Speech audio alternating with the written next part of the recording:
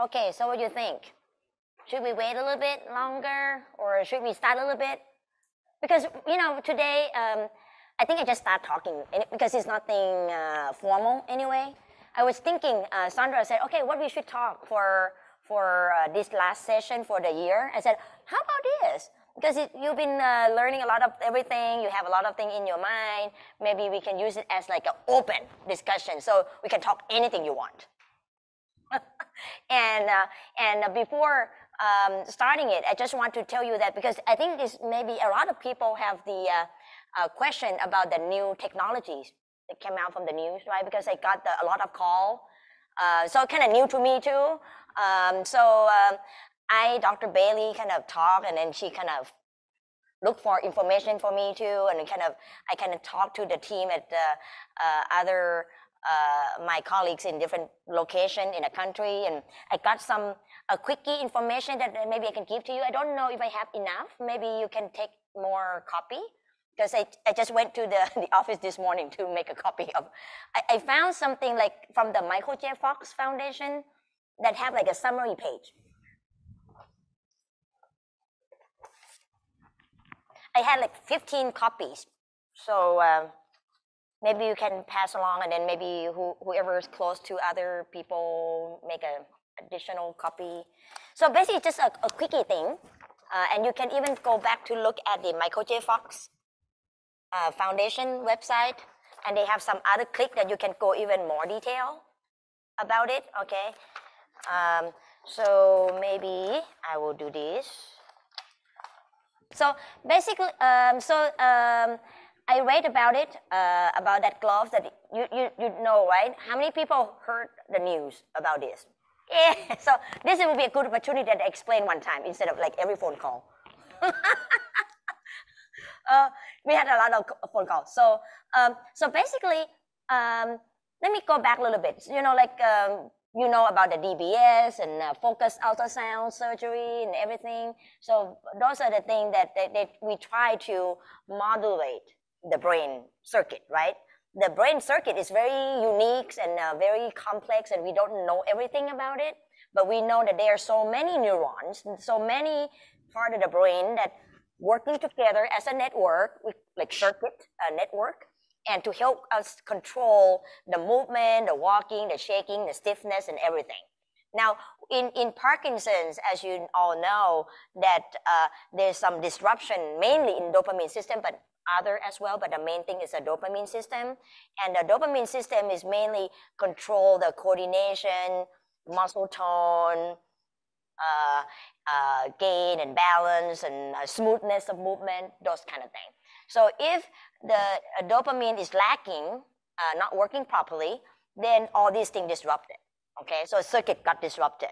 So uh, the DBS, basically you put the electrode in the brain and in certain area of the brain. There are three targets, but mostly we use a subthalamic nucleus. Sometimes we use a, a globus pallidus interna. I don't want to give you a lecture, okay? This is an anatomy lecture, so it's part of the basal ganglia. Okay, we put the electrode in there. We had a pacemaker, and then we can adjust it, and as uh, the electrical stimulation will will deliver the energy in that certain uh, uh, region, and then it can help modulate it, mm-hmm. the brain functions from disrupted uh, circuit to be a more like normal circuit. Even DBS, we still don't know everything, but we know this works, right?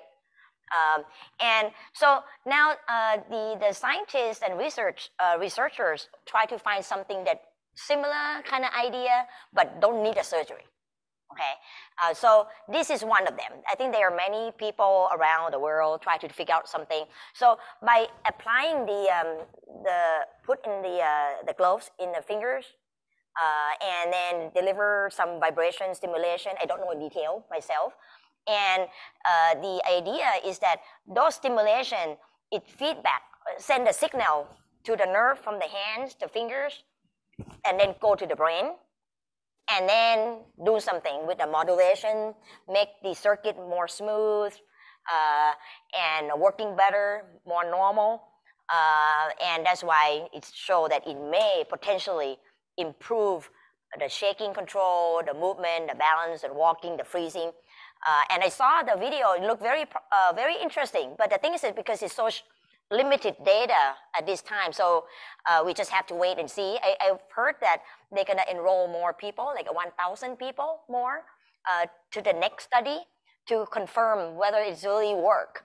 Uh, and then if it's work, then they will use that data to uh, to get approval from FDA, and then we can get it. So right now we're not going to be able to use it, and and the thing is that I'm not even sure if it's working or not because when I look at the video, it's kind of too too good. I don't know, is it too good to be true or what? You know, uh, but we'll keep an eye open. Okay, so that's good. It means that a lot of things going on. It's good that we get more data, and maybe it's working. That's good too. But right now, I, I think we can just more like wait and see. Um, what's that? Usually it's not uh, notified directly. For example, with this particular one, I didn't know it myself. Actually, the first time I knew it was uh, uh, one of my patient's uh, family uh, asked me. I talked to her about something, and she said, "Oh, by the way, do you know this?" That's when I learned about it. So. Uh, um, no, but there's so many things. I think maybe you can look into the Michael J. Fox too. You know, like from many Michael J. Fox um, Foundation. Uh, they have some updated things all the time. Uh, Parkinson uh, Foundation. Uh, our uh, office, you know, Dr. Bailey, Michelle may hear something because we we get the magazine um, or the news from the. American Academy of Neurology, Movement Disorder Society, uh, we sometimes uh, attend the um, international meeting from Minnesota, so we get some source like that. Um, I have a question. Um, I, in fact, I, I left a message uh, with Sarah yesterday about the new Parky app. Um, I heard from the manufacturer, and they're trying to, to get it's a prescription only, and you use it with your Apple Watch, and they're trying to get it launched here in, in our area um, in 2023. Is and I also heard from the Parkinson sensor. Is a wearable sensor you it's an app that, that you um it's on your apple watch you put on your watch and it sends data exact right yeah. to your office. So when you say hey tom how's marsha doing? Or she had anything else? I'm like oh she's great. Well i just see. Yeah, yeah i think that would be interesting too um, and uh, but i don't know well enough what the data in there is showing. Is just a tremor or it uh, also the balance? Freezing? i think a little bit of everything and then the um, Medtronics is working with the Stride, and they are doing. Right. We do we have that in, in our area now? Because I know Baptist is being trained. So is that something? Because you know a lot of us have Apple watches. That would be great. Right. I think something when there's uh, high technology products coming out, uh, I think they will have to come to the doctor's office to train us first what what it is. Yeah, I mean they're training in, in Baptist, so they're tra- they're training in North Carolina. So get Good. us on the list. Get us on the list. But how to do that though? I don't know. How to your Medtronics, your, your Medtronics rep maybe? Yeah, the Medtronic reps, uh, I, Sean is the one. Uh, and who, who has the DBS uh, with uh, Medtronic? No one in here. oh, yes. Maybe can you, can you ask Sean for me? but I can send an email to Sean and, uh, and ask about it. Yeah, and usually something like this, then we'll have to know like what kind of data because it's, because for Parkinson it's not as easy like a heart, right? The monitor for the heart, they're just looking for the uh, EKG, arrhythmia, and things like that. So um, and uh, usually I think the the data from the sensor that I would be very interested, at least myself, is that sometimes the medicines uh, kick in, wearing off, and uh, some problem happening, and then when I ask you in the office, uh, you said, I don't know, this shaking or stiffness or freezing, is that happen when on or off? I think this wearable uh, sensor will help me to figure it out. And then whenever that patient has a freezing or off or whatever symptom, you know, like a panicky or something, they can click, like push a button, it may mark it, and it can go back on it and can see that, okay, what cycle then they can adjust it accordingly. Because the, as you know, that Parkinson uh, disease symptom is not just a tremor, not just a balance, stiffness, so many things. And we keep learning more and more. Uh, you know, um, like rosacea can be a Parkinson's.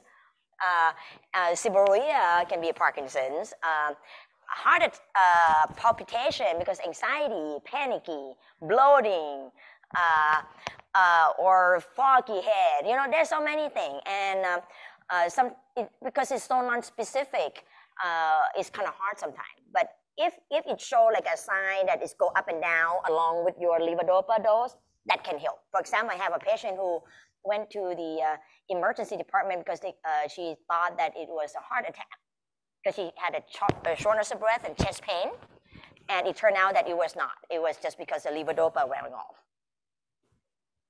But you know, but I didn't mean that. Okay, from now on, if you have a shortness of breath or chest pain, then don't go to the hospital.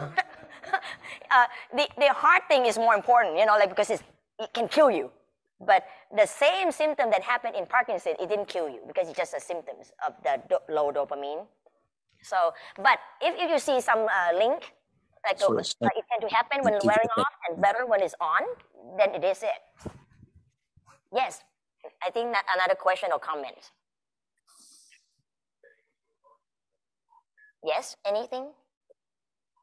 No? Okay, you can help me too, okay? Because you can see uh, the face. Yes.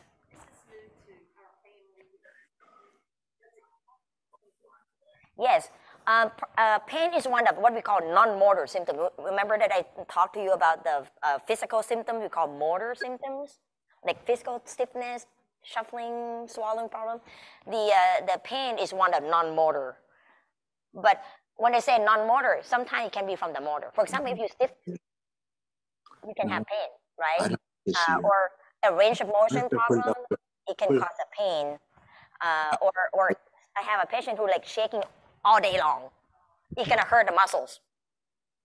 Those kind of things. But but even without all that, the pain can be part of the uh, Parkinson symptom itself, like no stiffness, nothing, just pain. But only way to know is by link, see the link.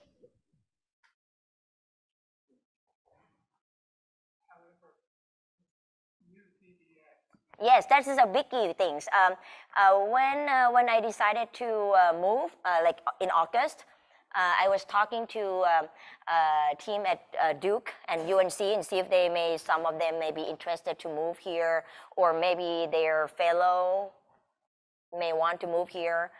This seemed like uh, no one at this moment, but they know that they're looking for it, uh, just in case.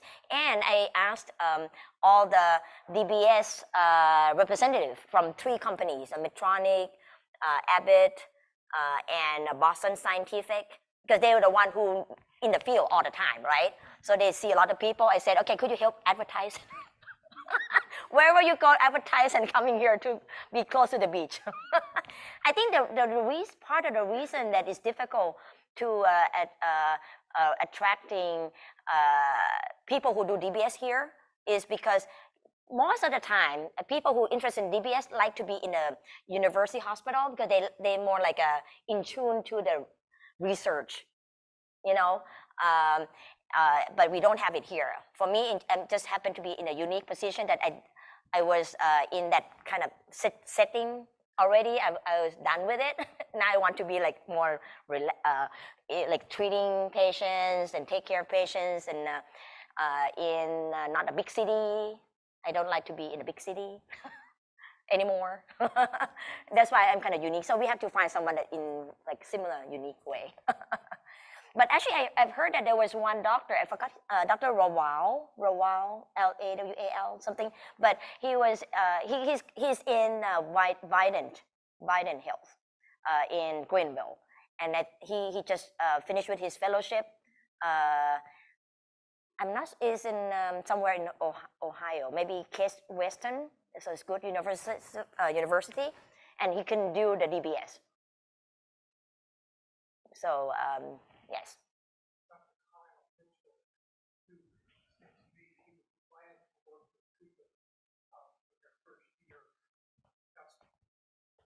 Yes, I think right, right. I think both of uh, the team, Dr. Roque, Daniel Roque, Dr. Uh, Murrow at UNC Chapel Hill, uh, Dr. Cooney, Dr. Mitch, uh, Mitchell at the uh, Duke, uh, they are supportive anyway. But in the long term, it's not that one year things, right? The DBS is like a long term thing. So uh, so I know that it can be very difficult to travel back and forth. But if anyone has the, the one with the Abbott, that will be easier because they can do the virtual adjustment. Virtual adjustment. Abbott. Uh, the St. Jude. Yeah. So because Yeah. So the uh, the one from the St. Jude, uh, the the Abbott, um, they use the Apple-based product. Uh, so a patient can have the iPod at home, and I can be here, far away, and we can link to each other, and I can adjust it without a present physically. Yeah.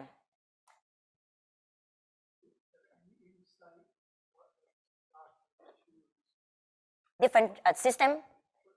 Yeah, so the uh, DBS uh, system, uh, all of them uh, use the same fundamental uh, knowledge, okay, and they are all great. They work well, okay. Now the the the difference between those three will be more like a unique things. You know, it's like when you buy the Apple, you buy the Microsoft, Google, um, uh, or uh, Android system or something like that. So maybe some unique thing. For example, with the uh, uh Medtronic, uh, the newest one, the newest one, um, we can here see the signal of the brain activities. Uh, so the, the electrode is not only deliver the stimulation, but we can see the firing you know, like similar to when you were in a in a OR, and then uh, the doctors try to look for the uh, good target to put in the the uh, the lead. They can see, but they don't see that that detail. But at least they can see something to help with the uh, treatment uh, adjustment, so that we don't have to rely on just the physical. But they can see, oh, if this kind of signal wave look like this, it means this or that. Okay, that's a Medtronic. Now, Boston Scientific one. Uh, then uh, is uh, now with the newest technology, uh, we can see the map of your own brain and electrode. So as you know that uh, Medtronic has been along, uh, uh, here for a longest, like long, forever, right? A long, long times. Uh, and when we adjust the DBS, we have to say, okay, let's try the uh, this contact, uh, lowest contact, the, the first and second and third contacts, and see how your shaking doing, how, how arms movement. So it's more like a testing and find the good one. Like have to have to take time to test everything. But Boston Scientific, now we can use your own brain MRI or CT scan and a software, and you can see exactly where the leads is in your brain. And uh, then based on that anatomy looking, we can say, okay, these three contacts in, in, in the brain, uh, which one we should use without have to test all this. So that's a Boston Scientific. And then for the. Jude, uh, the unique one is that we can do the virtual adjustment. Okay, and uh, and for the leads itself, now they all three uh, types of the DBS we can like, fine tune much better because Medtronic came out with the the, the final, not the final, but the newest uh, lead that we can choose more more optional. Uh, we call like a segment segmentation or fragmentation because usually in general the leads we can just okay select here, select here, select here. But now we can select like in the ring that okay which part of the ring that you want to use. I don't want to go to detail, but I think for the leads part of it, I think kind of similar already. Now it's more like about software that one's unique, different way. Medtronic can see the wave. Uh, uh, Boston Scientific see the anatomy. But I know that the, the Medtronic try, try to do something like that too. I think in the end, uh, they may be kind of kind of compete each other and come up with a new thing. So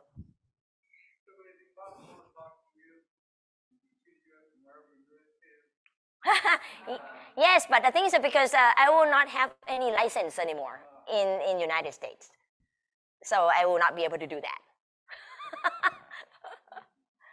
yeah. Okay, so you want to ask about something else in uh, that's not DBS and not not the not the gloves. Oh. Yes.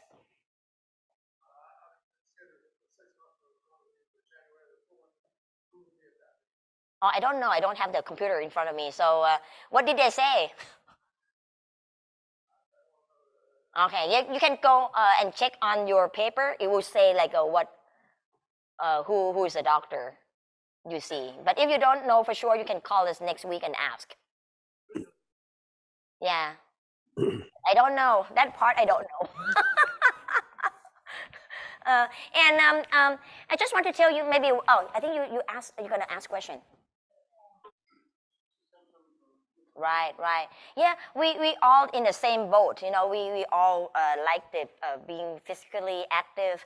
Um, and uh, in terms of to be active and exercise, then it, it can depends on the stage